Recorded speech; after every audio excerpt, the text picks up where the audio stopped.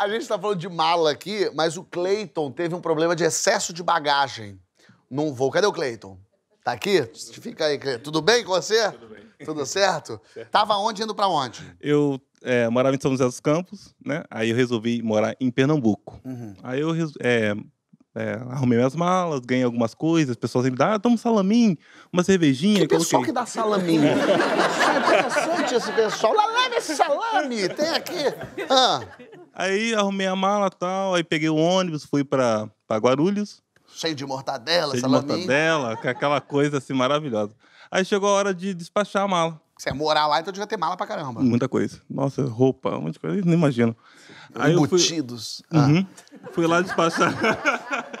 fui despachar a mala, quando vi, passou, excedeu 23 quilos. Falei, meu Deus do céu. Você, você levou uma criança a mais. Aí a mulher falou, senhor, por favor, poderia naquela salinha, por favor, saber o quanto que vai pagar o diferencial? Eu falei, eu, todo... Não, sim, claro. Que é isso? Tá bem? pagar. Paga o que que é. 100 reais no bolso só. Aí cheguei lá, um Léo olhou, viu, ah, passou tanto, deu 400 reais. Eu, "Ah!" 400 reais a mais só de A bagagem. mais, só de bagagem. Ah, só, tudo de mortadela, Só né? de mortadela. Conta dela. Tu foi fazer o quê? Uma feira? No... Ah, Aí nisso eu fui e falei, meu Deus, o que, que eu vou fazer? Eu falei, vou ter que fazer tudo aqui. Aí a mulher falou assim, você tem uma hora pra você fazer isso. tipo, a gincana do Silvio Santos, inclusive. Eu olhei, olhei Valendo, pra é mim. Gugu. Assim, banheiro. Vestir roupa. Uma roupa... Colocando um monte de um roupa monte em cima roupa, da outra. calça. E comecei a vender as coisas. Gente, isso aqui é um real, uma máquina é um real. Gente, mas é, é, custa tanto, não importa, eu quero dinheiro. Você fez um feirão no aeroporto. Fiz um feirão lá dentro. E Ali- vendeu coisa? Vendi, consegui 50 conto, mas deu. Ainda levou cinquentinha a mais. Cinquentinha.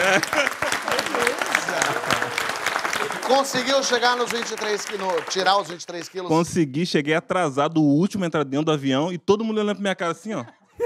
Brabo. Aí, aí, eu- aí eu- o piloto com um dó de mim que sabia que eu tava passando a situação. Ah, ele sabia. Eu falei pro povo, o que que é, gente? Tem algum problema? Aí Todo mundo olhando pra minha cara assim, ó. Vocês nunca viram um homem com salame na orelha? É complicado, não é, não é fácil. Ó, a não é a fácil vida não é não, tá? fácil, não. Foi difícil. A, a, a Josi, que tá aqui também, ela tem uma história, mas é uma história que eu não posso contar muito, que eu vou dar spoiler. E eu não quero fazer isso. Cadê a Josi? Tá lá do outro lado. Josi! Ah, eu chamei de Josi, errei completo, miseravelmente. Josi, perdão. Te chamam de Josi ou foi a primeira vez? Primeira vez, gostei, É mais-. Gostou, Gostei, inclusive? Josi. A Mia, que faz comigo o meu passado me condena, todo mundo chama ela de Mia. E ela quer matar as pessoas. E eu, como sei disso, incentivo as pessoas a chamarem ela de Mia. Não, não sendo meu nome verdadeiro, pode me chamar de qualquer Pode. coisa. Porque meu nome verdadeiro não é muito legal, não. Como é que é seu nome verdadeiro? Josimar. Ah, achei normal. Ah, é de homem. Josimar é de homem? É. Maioria é Hoje em dia homem. todo mundo pode ser o que quiser, menina. É Não tem verdade, isso é importância. Vai lá, o que, que foi? Minha mãe mora em Ilhabela. Fui passar as férias lá porque fui criado com a minha avó. Meu tio falou assim, meu tio Pedro. Ah, Val, vou levar a Josi, a André e o Neto. O Neto é um primo meu que chama Francisco Neto e a gente chama ele de Netinho. Tá. Pra passar o dia na praia de Castelhanos. Bom. Ótimo, ô, que legal. Fizemos aquela farofinha, um monte de coisa dentro do carro, né? Salame o lanche. pra caramba. Opa! É, tudo isso, junto e misturado. Chegamos na praia, ficamos o dia inteiro. A gente não comeu muito, porque só queria nadar, aquela festa toda. Aí meu tio olhou, gente, cinco horas, vamos embora, já vai começar a escurecer. Ah, vamos embora. Entramos num carro. Quando a gente estava indo numa estrada que sobe, assim, depois desce o morrinho, meu tio viu uma casa bem separada de tudo e falou assim: Olha, gente, olha que coragem o pessoal que mora ali naquela casa. Eu falei: É mesmo, né, tio? Ué, tem uma moça na porta. Vão dar tchau. Ê, tchau. E a moça dando tchau. Tchau. Aí meu tio falou assim: ah, fiquei curioso, vou lá perguntar para ela. Quanto tempo que a senhora mora aqui tão separada de todo mundo? Fomos todos lá. Chegou a mulher na porta. Um tempo também, né? Parou. Chegou. Na casa alheia. Oi, meu amor, tá morando aqui. Quanto é que tá o metro quadrado aqui? A mulher na porta. Quando nós descemos do carro, a mulher já disse assim: Gente, que bom que vocês vieram. Quanto tempo que eu não vejo ninguém. Olha só. Aí eu falei, tadinha, tão sozinha, né, tio? E as crianças dela brincando na sala, a casa quase sem nada. A gente achou estranho. Ela falou: sabe o que acontece? Deus que mandou vocês aqui. O meu esposo saiu para pescar, a pesca não foi muito boa e ele teve que ficar lá na cidade tentando alguma coisa para a gente comer. Aí meu tio falou assim: Poxa vida, comida, assim, arroz e feijão não tenho aqui, mas tem um lanche das crianças que a gente trouxe que sobrou. Você quer? Gente, por Deus, eu ajudei meu tio pegar tudo, entregar para as crianças. Aí eu falei: Tio, pede água para ela para eu beber. Aí meu tio, você arruma um pouquinho de água para ela? Pode ser da torneira? Pode. Bebi a água que a, que a mulher deu. Fomos embora, tudo feliz. Ah, que legal, mas ela é corajosa, né? Chegamos em casa, minha mãe falou: Pedro, você demorou com as crianças, eu estava preocupado já com você, escurecendo.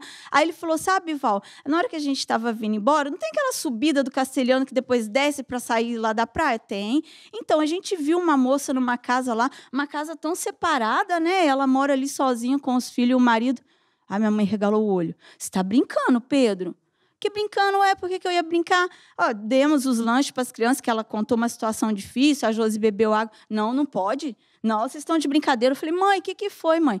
O marido dessa esposa, eu sei qual casa que é, e história antiga dessa casa. O marido dessa esposa morreu num acidente de barco. É tipo assim, uma ressaca que dá, ele faleceu. Depois disso, eles tiveram muita dificuldade financeira. E teve uma noite que ela estava sem luz e ela acendeu uma vela. Parece que a vela caiu, pegou fogo na casa, morreu todo mundo.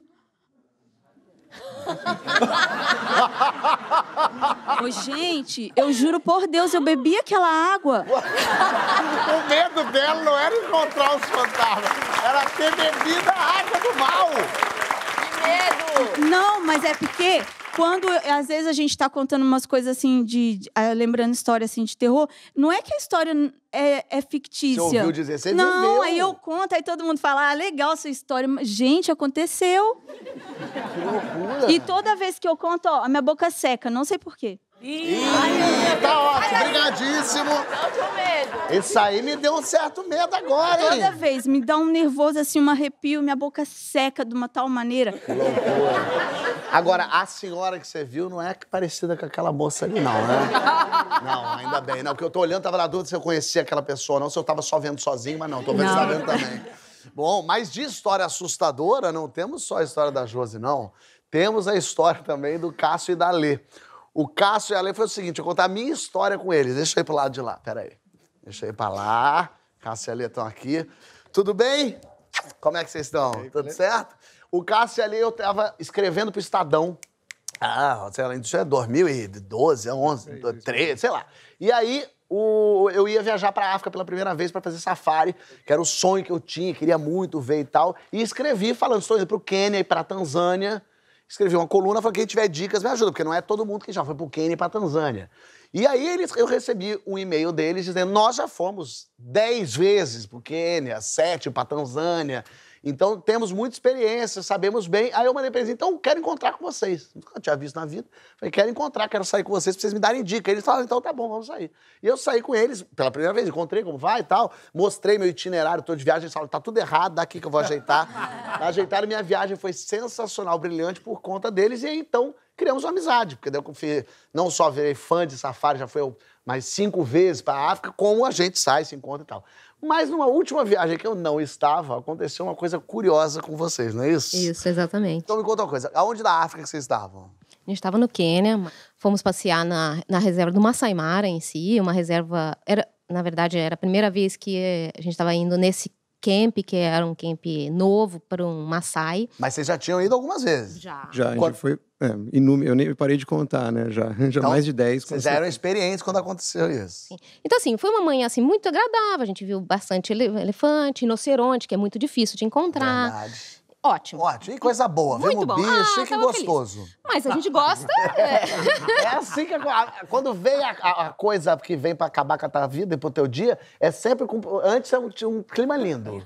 Tudo muito elefante, o rinoceronte. Ah, Mas o leão, né? Leão, assim, que é uma coisa assim, que você vai pra África, o que, que você quer ver? Leão. Leão. E a gente passou a manhã inteira, que os leões, que os leões, que os leões, e nada dos leões. E bateu aquela fome, né? Já era hora do almoço. Vamos comer, vamos almoçar, vamos procurar uma árvore, né? Porque é aquela região que não tem árvore, né? Então, ao procurar uma árvore, onde estavam os leões? na árvore. na sombra, né? Então, achamos leões. Aí, só que esse guia, que é um guia super famoso, aliás, esse guia é Experiente considerado lá. ele experiente, ele é um Maasai, assim. Ele foi considerado um dos 10 melhores guias da África, né? Então, assim, ele falou: olha, vamos deixar eles aqui, eles não, não vão ficar aqui dormindo, logo, logo eles vão acordar, eles vão sair daqui. Vamos procurar uma outra árvore para a gente estacionar o carro e montar a nossa mesa. Eles fazem aquela mesa super bonita, eles fazem um negócio bem Que é o legal. momento que você sai do Jeep. Isso. Aí descemos, botou as cadeiras assim, numa posição assim, Isso é bonito. agradável, vendo toda aquela paisagem, aquela paisagem do Rei Leão, sabe? Aquela coisa bem. Era. Hakuna Matata pra Ih, caramba. Hakuna Matata, né? Exatamente. Isso a gente ia tava com meu filho. Quantos anos né, na época? Na época eu tinha seis anos. O Alex tinha seis, a vocês dois, a Yara, A Yara, uma amiga, e o Guia. Isso, e o guia. E aí começa o terror. É, aí a Yara começa assim: aqui tem leão. Eu falei, sim, o leão está aqui. Claro. Está aqui. Que Estamos bonito. na África, é. Aí ela, Jackson, Jackson, em português ainda. O leão está aqui. Aí ela mudou para o inglês, né? Lion, Lion, Lion. E apontou. Aí quando a gente olhou para trás, ele tinha, um deles, né? Tinha circundado. Tavam, eles estavam emboscando a gente. Quantos eram? Uns três ali na hora. Ali na hora tinha hora tinha três, é. mas no total eram cinco. Quando eu olhei pra trás, tinha um já fungando no cangote aqui, né? Tipo assim, um metro de distância. Eles não atacaram, que eles devem ter falado, não é possível, tem uma merda aqui, como é que tá? Esses cinco idiotas aqui, eu não caio nessa não! Quando a esmola é muito leão, desconfia. E a gente petrificado, né? O, o Jackson falou, não, calma, né? Em inglês, Calma. né? Calma, não corram, né? O principal é não correr. Né? Mas a Yara já saiu desembestada pro carro, né? Correu, A Yara já no carro, não corre, gente! largou o prato no chão e saiu correndo. Mas, e os leões ficaram paradinhos Parados, olhando. parados. É isso, eles estavam incrédulos. Não acreditavam, né? E aí vocês subiram no carro. Não, é, não, É, aí é que tá, assim, porque o Alex, ele foi passado meio tipo escravo de Jó, né? Então, assim, eu passei pra ele, foi Um passou pass- de um mão em passou mão. de mão em mão. Ah, escravos de Jó Isso, é. jogavam no carro. Isso, jogou ele no carro. A Né, Nessa, ao passar no carro, coitado, bateu a cabeça, né, na, na hora que jogou no carro. Então, assim, Chorou. chorou, não por causa do leão, que ele não viu o leão, não Ah. viu leão nenhum. Esse aqui ainda protegeu o, o prato de comida, ele ainda pôs o prato de comida lá. né? Pera aí, meu frango, que é isso? Pode me comer, mas deixa eu terminar aqui o, a maionese. Só que o problema é que, assim, para entrar no carro, ele tinha que praticamente, porque a porta estava aqui, o leão estava aqui, ele tinha que praticamente, assim, com licença, leão. É, entrar. do lado do- da do lado da porta, mas teve que fazer isso. E o guia então. ficou do lado de fora? Ele não falou, saiu. não se preocupe, eles estão calmos, não, né, não vai acontecer Não vai nada. acontecer. Fiquem Eles só tranquilos. querem a sombra. Fica tranquilo, vocês já pagaram mesmo? E aí, e nesse meio tempo, olha que loucura, eles conseguiram filmar isso. Hum. No desespero que a gente pensa assim, a minha vida ou likes no Instagram? o momento em que isso aconteceu, vamos ver aí. A criança chorando. I just want to change this car from something online. Que isso? E agora? Hey, okay, go. Não, não, vou ligar esse You're not allowed to come. deixa, deixa eu ver falar. You, I'm talking to you. No. Ai, não, Cássio, tá muito medo. Mas o carro não vai fazer nada. No, you're not allowed to come. Meu Que Deus. loucura! Medo. Pois, hein? Pode desatar, rachar o braço, que o leão chegou a comer um pedaço.